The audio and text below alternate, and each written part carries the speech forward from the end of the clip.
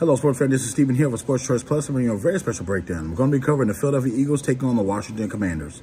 Before I get right into that, I want to make sure you're subscribed to the YouTube channel so you get all the updates each and every time we have breakdowns here at Sports Choice Plus.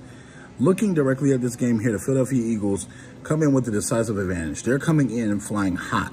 You look at their first game, they struggled against Detroit. Their second game, they beat the holy hell out of Minnesota on Monday Night Football.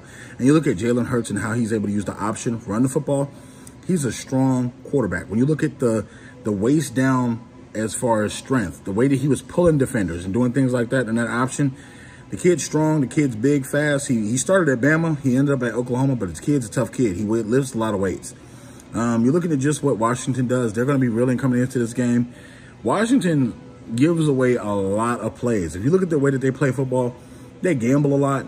They gamble a lot in Ron Rivera's defense, and then they oftentimes get the ball back, but a lot of times they end up making a lot of mistakes. The teams just don't take advantage of it.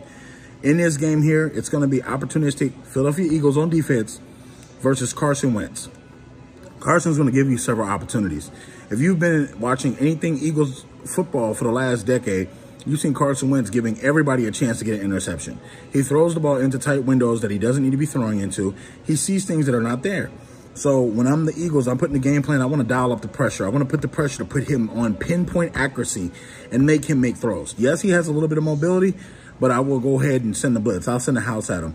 He does know Philly's offense a little bit, but you got to think in mind, he's not going to have the advantage in this one. I think the Philadelphia Eagles are going to continue rolling. I think they're going to steamroll Washington in this one. I think it's a little bit of personal business with this one. So I think the Philadelphia Eagles are going to win against Washington. Get in the comment section. Tell me if you think I'm wrong.